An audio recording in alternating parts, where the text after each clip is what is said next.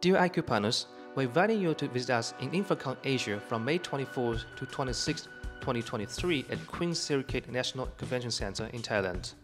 Our booth number A01, Half 3 and 4.